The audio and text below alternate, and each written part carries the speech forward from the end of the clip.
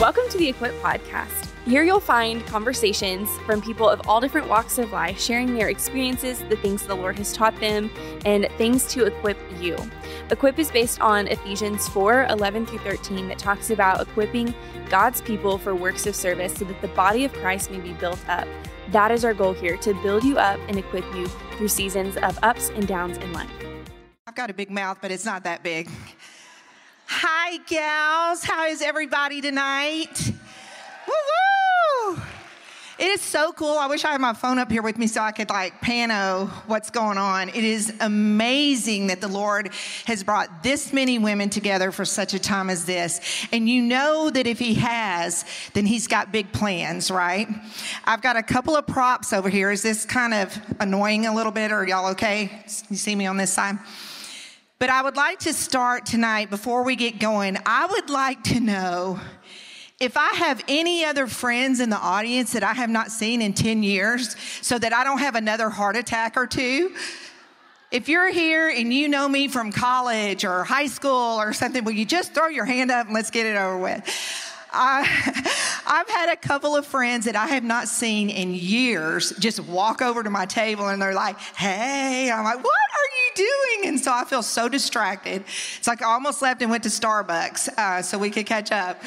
But we're going to get going tonight, and I want you to know that tonight's talk with me is very different than what we're going to do in the morning. In the morning, we're going to do something extremely intimate. You're going to be getting so much information from so many people. I will tell you, if you hear something from me that you've heard somewhere else, I hope you'll cue in and realize God's trying to tell you something. But we're going to do a pretty informal talk tonight in the regard that it's going to be extremely practical. Now, I will have people complain. They're like, ah, oh, she talks so fast. Debbie will say, they want blanks. And I'm like, I hate blanks because I forget them. And uh, so, what I'm just going to say is buckle up, buttercup, because they only gave me 40 minutes and I had to pare down my notes and pare down my notes. But I feel very strongly that the Lord has given us a couple of practical things to think about because, you know, we have an enemy of our souls that wants to steal our joy. And the problem with him, he's stinking sneaky. And he flies under the radar. And the other thing about him is he is not out to just shock us, he's playing the long game. So he's trying to come in in ways that where we're not thinking about it, where we're not prepared. And before you know it, we've been walking this way and all of a sudden we're going this way because that's how that goes. So, before we get started, I would love to show you a little bit of what I've got going on when I'm not here. They asked me at the podcast, they said, What brings you joy right now? And I said, huh, Let me think for a minute. Family reproduction. Gary and I have four beautiful kids, and they are now producing children, and we are nuts about them. So, this is our oldest daughter, and that's Gage and Hudson with Gary and I. And then I've got another group. This is my little Brit Brat. This is Brittany and her husband. And there's my only little granddaughter right there. That's Holland and Walker and Beckham. And there's T Man, my son, my only boy and his wife Taylor, and they just had a baby a few weeks ago, and that's Lawson. And then this is my baby. This is Valley Taylor and her husband Trent. And we've got Clay and Dodger and the twins. And that's Breck and Brody. Now, I've got to tell you, this last one, we've had all boys except for Holland. And so she's been wrangling all these boys. But just a few months ago, something happened we found out we're having another girl and we're so excited. The look on her face just says it all. So we're preparing for Sunday. They're going to call her Sunny. And so we're super excited to meet little Sunny in July. So, but anyway, I just wanted to show you a little bit of my family. I'm up on a stage right now, but I'm no different than any of you. You know what I'm saying? Like, we're all doing life, we're all trying to figure it out, we're all trying to hear from the Lord. So, we're gonna see if my, my nickname and my grandmother name is Gabby. So, you'll hear me refer to myself as Gabby a lot. So, what we're gonna see is if Gabby can stay with her notes and if we can get something done here. So, tonight, we're going to start with asking the Lord for something very, very, very, very specific. When I was studying through the message last year, I took the challenge from the Lord to read through the entire Bible. And I decided to read it in that translation just because it reads more like a book. And I just kind of wanted to follow along that way. So, anyway, I'm going through it and I came across a very familiar story that I've known for a long time. And it's embedded in 1 Kings 3 and kind of carries on to 4. But Solomon was what we all consider and what the scripture says was of the wisest men to ever live. And what was really interesting about Solomon is the Lord came to him and said, Ask me for anything you want. And I want you to know the scripture says anything, okay? So when you start thinking about it, what would we ask for if somebody said, anything you want? We'd probably say riches. We'd probably say a baby. We might say a family. Some of the other things that I'd written down here is that we might ask for health. There's a lot of things we might ask for. But if you know this story, what did he ask for? Wisdom. When I did my research and I started looking at what wisdom is, it says wisdom isn't mere information or theoretical knowledge. Knowledge for knowledge's sake means nothing. Wisdom is the practical ability to separate right from wrong and then to act upon it. You know, we have a real problem sometimes of knowing a lot, but not doing a lot. Okay? And so, what I began to see, though, that was so beautiful when I read through this translation, my whole life, I've read that Solomon asked for wisdom. And the message is written as Solomon asked for a God listening heart and the ability to, to discern between good and evil. Doesn't that just get you? I said, Oh Lord, I remember tearing when I read it. I said, God, I want a God listening heart. Like, I want to be able to hear that. But in 1 Kings 4:29, it tells what his God's response was, and it is just stunning to me. It says, Then God answered Solomon. He gave him wisdom, the deepest of understanding and the largest of hearts. There was nothing beyond him and nothing he could not handle. And I was just like, okay, now we're getting somewhere. That's what I want, Lord. I want a God listening heart.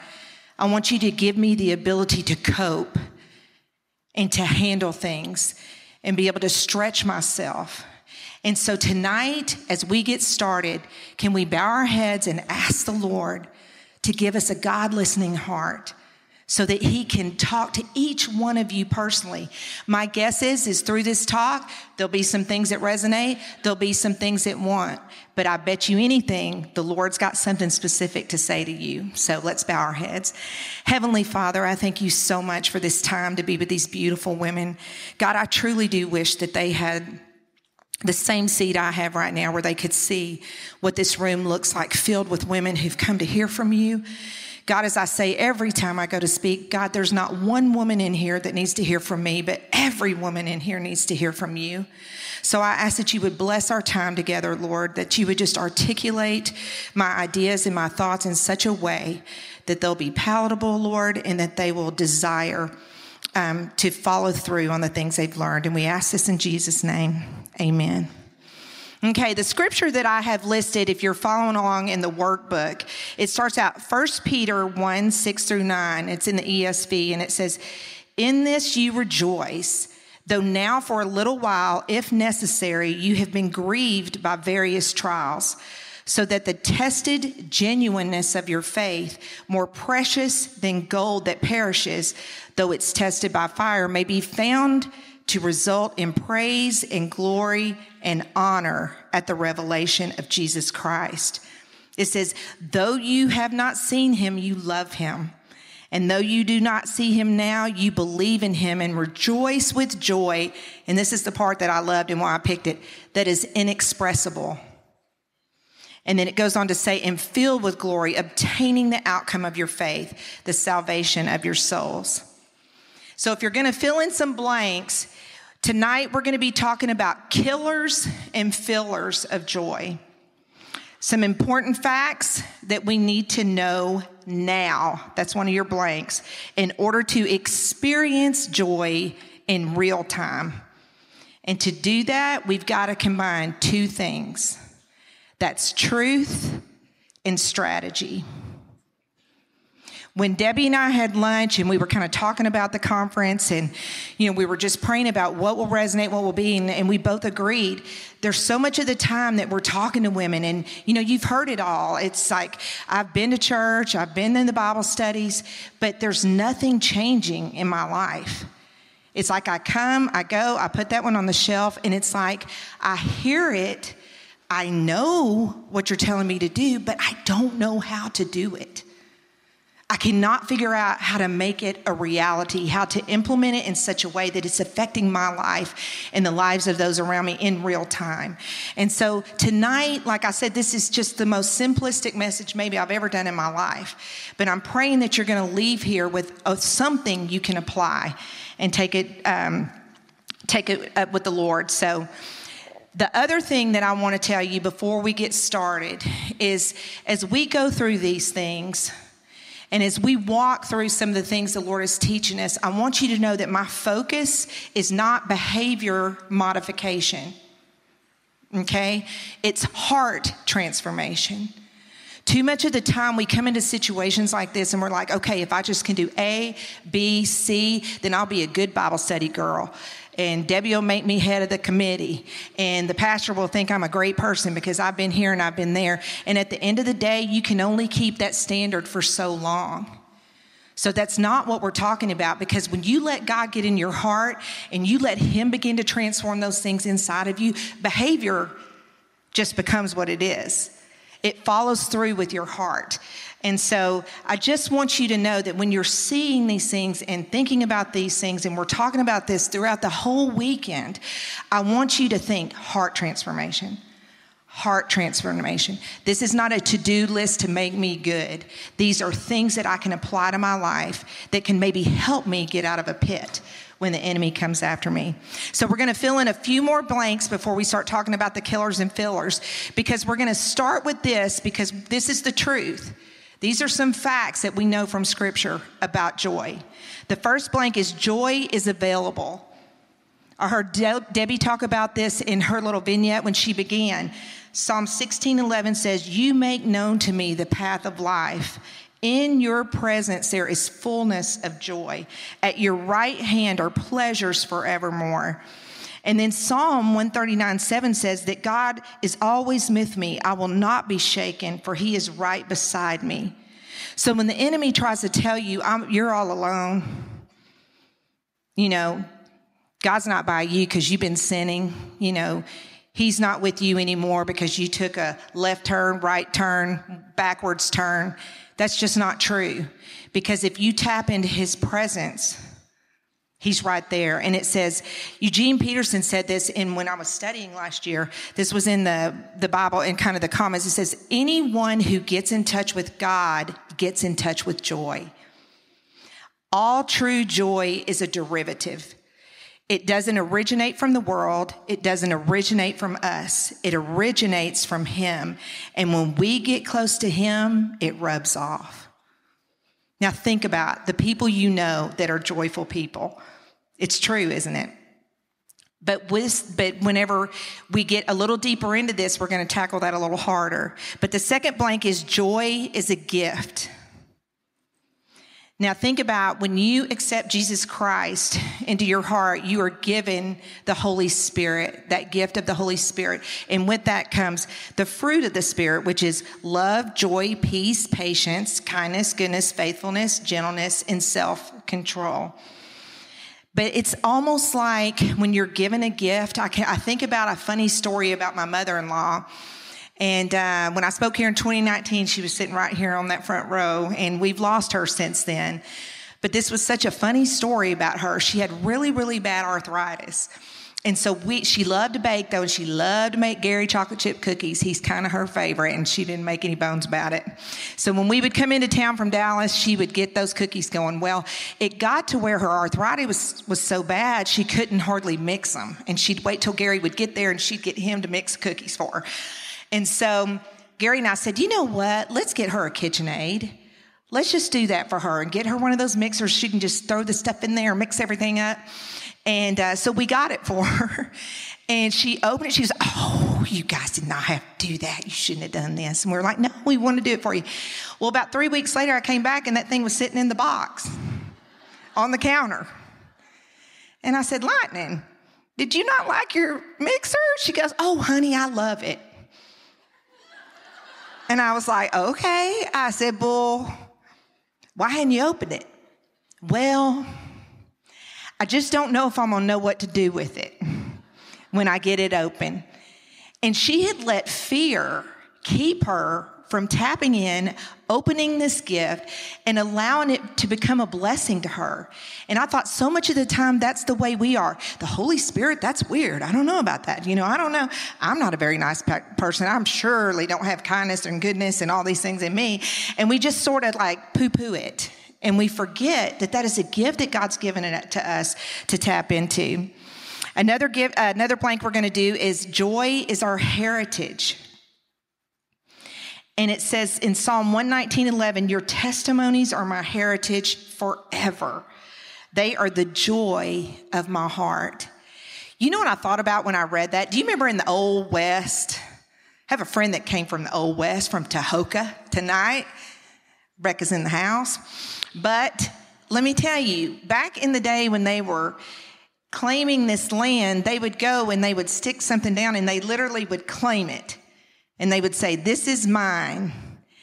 And I started immediately, the Lord began to tell me the problem with our heritage with the Lord is that, and this is what I wrote down in my journal we claim the trouble instead of claiming the promise.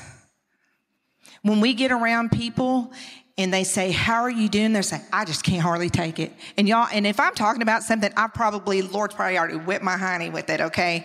So, um, but I can be the world's worst about that. Well, what do you do? Oh my gosh, it's just so stressful at the store. Oh my goodness, you know, I've got all these things to do. I'm so busy, and you know, and we just start claiming all the things that are tough. And the Lord taught me a lot, and I wrote an excerpt about this in my book, 24 Karat Life about the difference between proclamations and explanations. And a lot of the time, we spend a, so much time trying to explain what God might be doing in our circumstances. You know, we're just claiming the issues and then we're trying to basically make it make sense to us. And so you might say something like, well, you know, this and such happened, but I'm sure God, you know, He's probably trying to teach me to do this or trying to show me this, or He's probably going to get her because she shouldn't have done that. And that's probably why this is all going on. And at the end of the day, you know what that does? That does not drag people to want to know more about God. That basically shows your lack of faith that He's working. And I began to realize the key in those situations is a proclamation. Because let's say that you tell me something and you confide in me and you say, hey, you know, this is going on. And then I say, well, gosh, what do you think is going to happen? And you would say, I don't know, but I know God is good. I don't know, but His word says that He is faithful. Do you see the difference in that? That not only gives you a lift, but it makes the person around you go, huh? Because people don't want to hear your complaining. People do want to hear my complaining. I feel pretty sure of that. My husband loves it, like he just lives for it but it's the truth. And as believers, we should be doing things and handling things different. So I want you to think about that when the enemy comes in and you feel this need to throw up all the things you're disappointed about. Answer truthfully. It's okay. It's okay to talk about things, but be able to back it up with a proclamation, though, that you know that God is moving. The other one is, and I think I heard Debbie, I was back in the other room, but joy is a weapon. And I loved that when I realized that. It says, Nehemiah 8:10, do not be grieved, for the joy of the Lord is your strength. And you know, I have this written in my notes. I'm going to kind of read. It says, Most joyful people fight to rejoice. Now, I want you to hear that again. Most joyful people fight to rejoice. And if you think about it, the people who have inspired us the most are people who have walked through fiery trials. Because what? They have street cred, right? And I thought about the fact that we as women, we either set out, set ourselves up to become a victim to our circumstances or a victor despite them. And the enemy always is going victim, victim, victim. And it's just insane. And the Lord is like, You tap into me, and I'm going to give you that inexplicable joy. Because this is what I do know to be true, and I wrote this in my journal. Joy in the enemy cannot rule in the same place. So you kind of have to decide who's going to rule. Is it going to be joy or is it going to be lies from the enemy? One of the last blanks we're going to fill in really quick is joy is medicine. Proverbs 17 22 says, A joyful heart is good medicine, but a crushed spirit dries up the bones. When I read that, the first thing I thought about was how crazy we are in these days and times of what we decide medicine is in our lives. Medicine is Instagram instead of God's word. Medicine is alcohol instead of meditation. Medicine is diet pills instead of self control.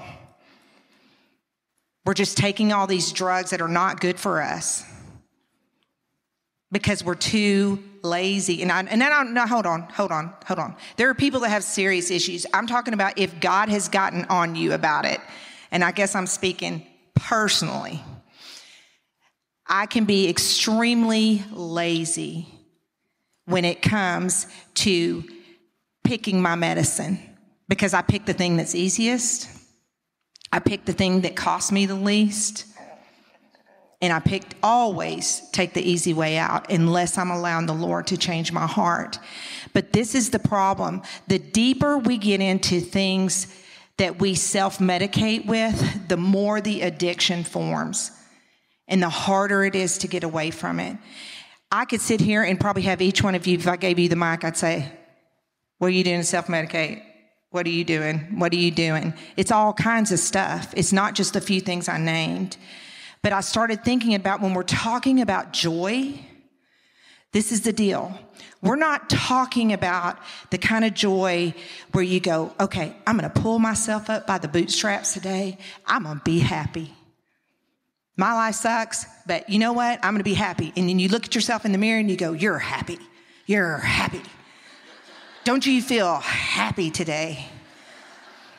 That's what the world will tell you to do. Look at yourself and tell yourself, You're happy, self. But at the end of the day, Christian joy is completely different because it's not an emotion on top of emotion, a feeling on top of a feeling. It is an emotion and a feeling on top of truth. The truth of God's word. You can depend on that. That's a totally different kind of thing. And so that's why getting in the word and knowing the word, because if you don't know the truth and you're not learning it in such a way that, that, that you can just pull it up, then it becomes of no good to you. But we have to look at it like that. When we are joyful, the way we're going to stay there and the way it's going to actually manifest itself in our life is we're building it on the truth of God, not on a cute Instagram post. And I love Pinterest. I could be on there all day long and there's all kinds of stuff. But let me tell you, you can get sucked into that. And before you know it, it's not really the whole truth. It's part of the truth. And that's why we get so off track. I've said this before, but it's just coming to my mind, so I'm going to say it again. Lord must be bringing it to me. That whole thing of she believed she could, so she did. Well, let me just tell you something. When you're successful in things, it's because God does it in and through you. So that becomes a very independent thought wave if you're not careful. But if you don't understand the truth of God's word, it's hard to t- be able to tell a lie. And like I said, Satan's way of coming at you, if he just walked up to you and just slapped you across the face, you'd probably go, whoa, whoa, whoa, wait a minute, wait a minute. He doesn't. He does that just little bit, little bit, little bit. So that is why we're going for truth and strategy. And I just really began to realize that the strategies can seem pretty obvious because we talk about prayer, talk about being in Bible study, we talk about being in church, being around other people. And so I was like, God, but you know, I feel like those are the obvious things, they're the things we always talk about. So that's when I began to realize that there were several that were coming to the top. And so that's what we're going to tackle really quick. And we're going to start with the first joy killer. And it's that you're too full of it to get filled. Okay? You're too full of it to get filled. Let me take my. Do y'all love my box? Do y'all ever get things and you just love them? I have a whole uh, ministry thing coming out on the Glue Network soon. It's called Living Bright and Beautiful. So I am so about the colors right now. It is coming at a wonderful time. I'm like, okay, all these 80s colors coming back. But the best way I know how to explain this is oh, I, don't, I don't really want to read my notes, so I'm just going to go with it. Whenever we get in a conference like this, and I am so aware that you come and you're on a high, okay? And then you're standing here and you're saying, Lord, just fill me up. I want more of you.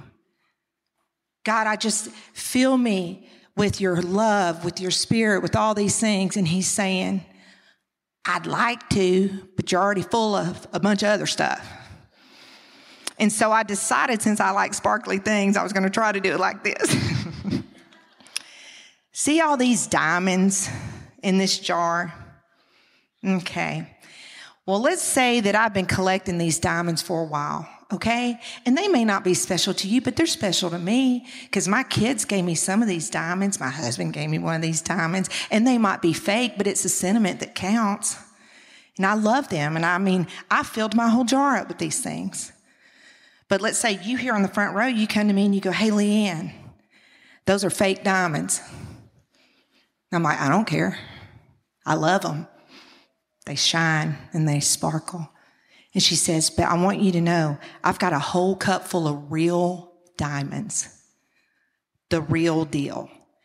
She said, But at the end of the day, you're going to have to pour out your diamonds so I can put the real diamonds in there. And I'm like, Well, wait a minute. That sounds kind of good, but I need to think about this for a second. Because if I pour these out, then I won't have them anymore. And she's like, But LeeAnn, I have the thing that's actually valuable. Ladies, I feel like that is what God is trying to tell us. We're holding on to things in our heart. And these are some of the things that the Holy Spirit had me write when I was preparing. We're so full of bitterness we're hanging on to people that God has set local. We're hanging on to ideas. We're hanging on to mindsets. We're hanging on to fears. We're hanging on to hurts. We're hanging on to addictions. And the Lord is just saying, you are being selfish and you're being lazy because you're not giving me full control. You're not emptying out the bad stuff. Believe me, you know, we kind of fell into the whole thing you don't have because you don't ask. But at the end of the day, there's another side of this that comes in that we forget about.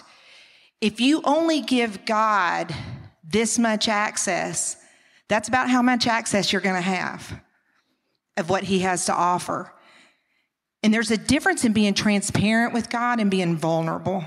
And that's with God or with other people. Transparency, I'm transparent up here right now. You can see me, right? But let's say it's like being in a bubble and I'm standing here in a bubble right now. You can still see me, but vulnerable is when you pop the bubble and I let you into that space. And as women, the enemy is say, Don't do that.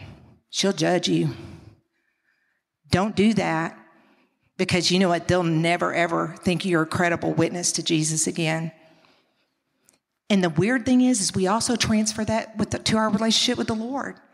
We're like, you know, we don't feel like we can be vulnerable with Him because we're afraid He's going to take something from us that we don't want Him to take. But you have to understand that at the end of the day, God wants to give you the very best. In fact, the way that the Lord kind of showed it to me is LeeAnn, I want to give you the very thing you would ask for if you only knew what I knew. You know? And so it's just allowing ourselves to get rid of the junk. So, one of my strategies, and the strategies I'm gonna share with you tonight, are things that I have done myself, and they have literally ushered in so much joy, so much freedom, so much time with the Lord to do real work and I, the diamonds have been coming in. But you know what I do? I will sit there, and if I'm going to get with the Lord, I'll get out a piece of paper or a journal or something, and I'll say, God, okay, start telling me. What am I full of? That's not you or of you. And I'll just start writing things down, and I'll just write one thing down, write another thing down, write another thing down. And it's what's so interesting is sometimes I'll see a pattern evolve. And so that's what I encourage you guys to do. After you're gone from the conference, say, Lord, I do want to be full of you. So what do I need to get rid of? And when you start doing that, sometimes you'll see a pattern. What I had written in my stuff is sometimes you'll see a pattern of you need control. That's what you can't let go of is control. Or it might be that you have an identity problem. You know, it might be that you have an anger problem, bitterness problem. You know, I don't know. For each of you, it'll probably be something different. But then once I figure out what that pattern is, I'll get on Google and I'll start looking up scriptures about anger or scriptures about whatever. And I will literally go in and write them all down.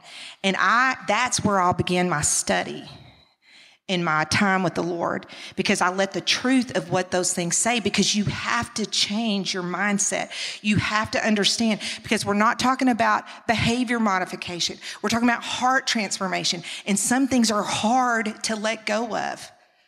If you've been bitter for a long time, especially if you've had a family member hurt you, that stuff does not go away easy. But God's like, as long as you hang on to that, you are choosing not to have the fullness that I want to offer you. And so I just really encourage you to take some time and do that because when we empty ourselves of those mindsets, we make so much more room for Him. The second joy killer is a head full of dread. And this one is, mm, I think the enemy loves to suck the joy out of us by dreading to do something. And that can manifest itself into things like, this is going to be so hard. I don't know how I'm going to do this. Or that seems impossible. And that turns into things like, um, I dread going to work. Oh, okay. I thought it was my mic. I dread going to work. I dread having to cook dinner. These are just some things I wrote. I dread having to do chemo. I dread having to be around this family member. I dread, I dread, I dread. And it constantly shows up. And you know, if you've been around the Christian world at all, everybody has jumped on trying to explain what happens in our heads. And it's truth, what they're telling us. And they talked about ruts.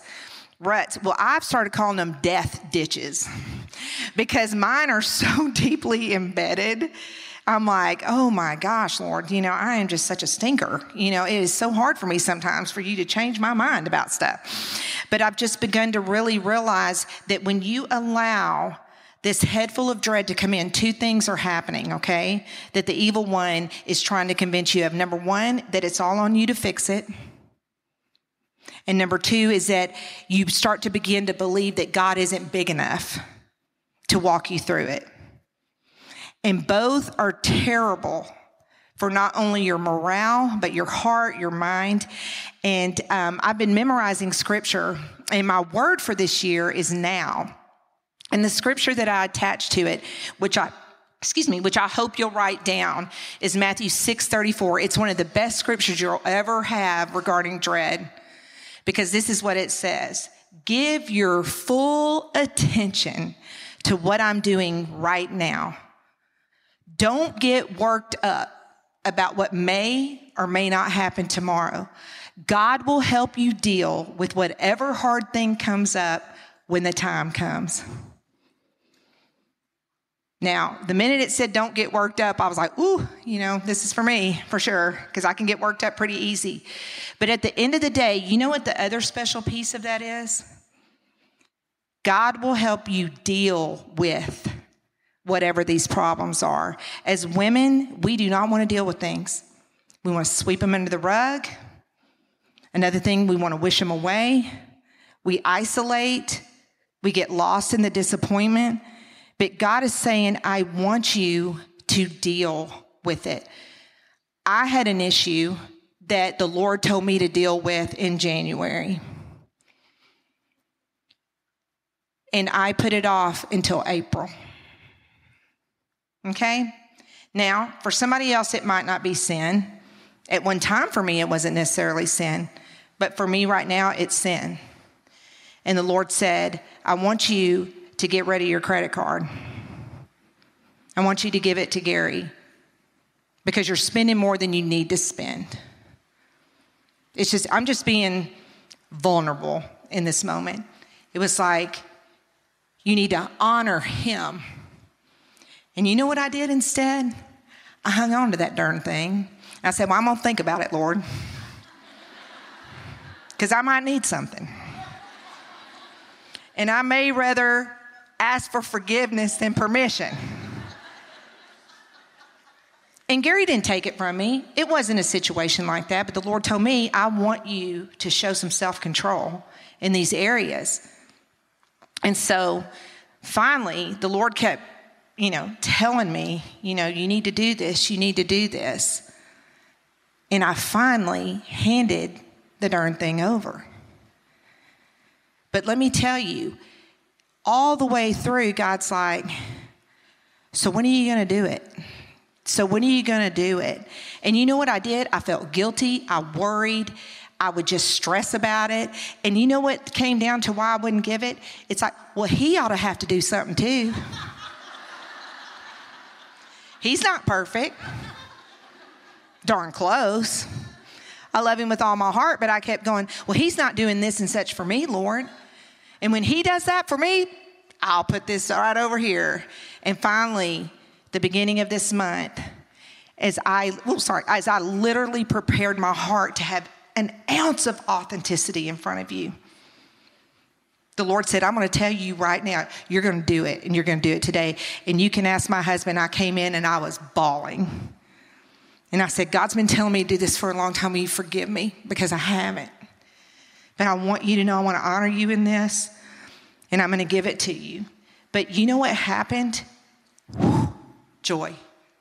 There was crying that night because I was really worried I wasn't going to be able to get those shoes I wanted. But, but, but, but, there was joy in the morning. The next morning I got up, and I cannot tell you how the Holy Spirit just infused me with joy because I had been obedient and because I had put what He asked me to do over what I preferred to do. And so much of the time, that's what we're doing. We have a head full of dread. We dread doing this, dread doing that. God's just like, just psh, kick your bell shoes off and do it. So I encourage you if the Lord is speaking to you about something specific, you want to usher joy in real quick, get obedient and watch and see what he does. Another filler that I kind of had hooked to this, and I'm going to tell a story, and I pray you guys will still love me when I'm done because it's kind of graphic, but it's the truth. You need a good friend who will tell you the truth when you can't see it for yourself anymore. And I'm going to tell a story. I have two friends that I have met since I've been in Tyler. Debbie and I have been friends for a long time, and I adore her. And she is a thousand percent. And I've had added two new ones that are just extra special. And when we get together, we can talk about truthful things, but we don't let each other stay in the ditch. You know, when I'm going through something hard, I don't need somebody to go, Well, you know what? I'd be ticked off too. Girl, you deserve to be mad. Like, that does not help me at all. I need somebody to say, Well, that kind of stinks. I don't blame you for being upset, but look, what would God want you to do in this? So, you know, you can't do this. So, you need a friend like that. And I got to thinking about this story. When I was having Valley, my youngest, I was in the hospital, okay? And I had a super easy birth with Tyler, so I was not prepared for pain, okay? I got in the hospital, got the epidural when I was at a two, hadn't even felt a contraction yet. I pushed five times, he popped out, and I was like, well, what's the big deal about having a baby? This is no big deal. But when I had Valley, I was at a seven by the time I got to the hospital. They could barely get, the, I was like walking to the hospital room and I was like, get that epidural in me as fast as you can. Like, just get it, get it, get it. But we get in there and I'm experiencing all this pressure, okay? that I didn't feel when I had Tyler. And it was disturbing because I could not figure out what that was. And so I'm laying on the bed, and the nurses kind of turn me on my side, and the tears are starting to come because I'm like, this doesn't feel right. I think something's wrong. Now, the nurse is fully aware. She's done this before, okay? So she's fully aware of what's going on. But I pull her close to me, like where I could whisper in her ear because I was so embarrassed. But I said, ma'am, I need you to go lift up this sheet and tell me which area this baby's coming out of. and I swear, y'all, she looked at me, she goes, What? And I said, Ma'am, I'm so sorry, but I am really concerned because I know where it's supposed to be coming out, but it feels like it's coming out of somewhere else. And she's like, Oh, honey. She goes, No. I said, I need you to look. I need you to look. And so that sweet thing went down there and lifted up that sheet, comes back around to me, says, Everything's fine. Everything's coming out where it's supposed to come out. We're going to be fine. But you know why the Lord brought that story to my mind? Is I was out of my mind, okay? I was so scared. I was so scared it was going to hurt. Like, I did not know what to do with myself. You need a friend that you can go to that it doesn't matter if you're out of your mind. It doesn't matter if it does not make sense. One of the cool things that Margie and Hickson talked about in the marriage class that really resonated with me was that you don't get to decide somebody's pain, whether it's real pain or not real pain. And we have a really bad habit as women of judging. And we'll say, well, my gosh, it's not that big a deal. She just needs to get over it. But for the person that's walking through it, they could be not as mature in their faith or whatever, but you need somebody who loves you enough to go down there and look and then come back up and say, You're going to be okay and this is what we're gonna do. But I thought, we, the devil wants us to isolate. He wants us to isolate, and it is the worst thing that can happen. And so I want you to really, really think about that. That find a friend, just one friend. You know, I have some friends that we just text scripture back and forth to each other every day, just to show what we're learning and what that looks like. But be intentional about making that type of friend way up at the top of your list. Okay, one of the other things, kind of in regard to this before we go to the last one, is you have to set your gaze. You know, you find people that'll speak truth into you and kind of bring you down off the ledge, but you also have to purposefully set your gaze on things that are what the scripture says uh, true, honorable, just, pure, lovely, commendable. If there is any excellence or anything worthy of praise, think about these things. And sometimes you have to literally train your brain to stop, to recognize that this is not a thought you're supposed to be having. Does that make sense? So, anyway, so you're going to go through here and you're going to say, okay, um, I agree with this, I don't agree with this. See what I'm saying? Like if the bad thought comes, my friend Kara said that she'll literally say it out loud. You know what? You're never going to be able to do that. I do not agree with that. She said, sometimes I'll just say it right out loud. I do not agree with that. And then when something good comes and she feels like the Lord's giving her truth, she'll say, I agree with that. And so it's become a really cool strategy. The last one, and we're going to go through this one really quick because I've got something fun to share with you guys, is we lose perspective. Okay? We lose perspective on things like uh, we think we own the plan. And so we're basically trying to get God to work our plan. And that's instant loss of joy because Jeremiah 29 11 says, For I know the plans I have for you, declares the Lord, plans to prosper you, not to harm you, plans for a future and a hope. But it starts out with, I have a plan. And so it's submitting to that. Number two is a joy killer is we decide what looks good. Proverbs 16 2 says that men and humans basically are satisfied with what looks good, but God probes for what is good. And there's sometimes when we might see a good thing, but it's not God's best. So he's saying, I want you to wait on that. But we get grumpy and we get tired of that, you know. But at the end of the day, it's submitting to that. And the third one is we use measuring sticks as path indicators in our life. And let me explain this. We think that mindset of, well, if I can just get here, then I'll be happy. And that has killed me at times. Things like um, if I could just get that house, if I could just get that job, if I could just have that baby, if I could just get healed, if I could just get my husband to love me, if I can just get that child to get their life together, then I'll be happy.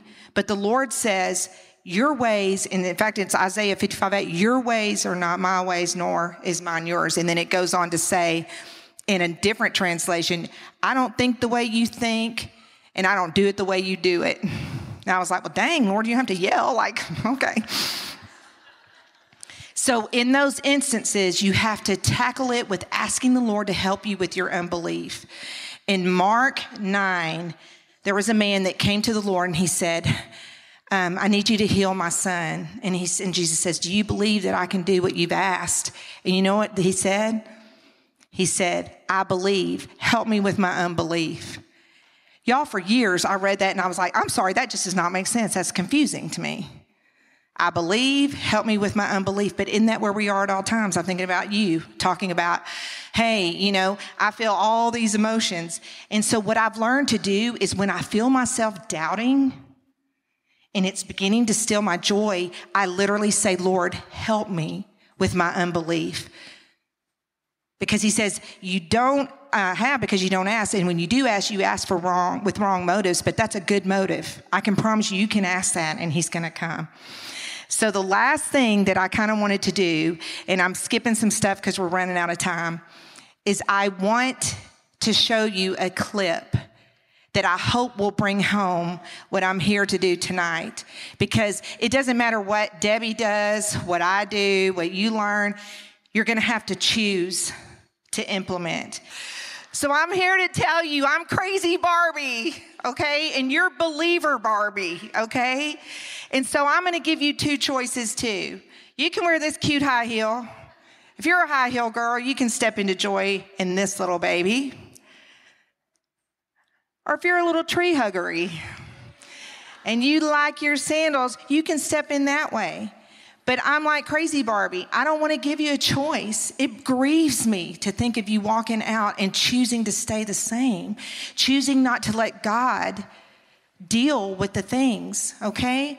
So now, what I'd like for you to do is I know that some of you in here are, you know, there could be a lot of people in here that are not believers, that are just have never given Jesus Christ even a try because you've burned out on religion and it's not not ever made sense to you. But I want you to know if you have Jesus, you have it all. But the problem is, is if you don't have Jesus, you really don't have anything. All the things that you're grasping to and hanging on to are going to be things that just dissipate and leave. Do you see what happened? They were grief stricken and chose to follow Jesus. And then what happened? The joy followed.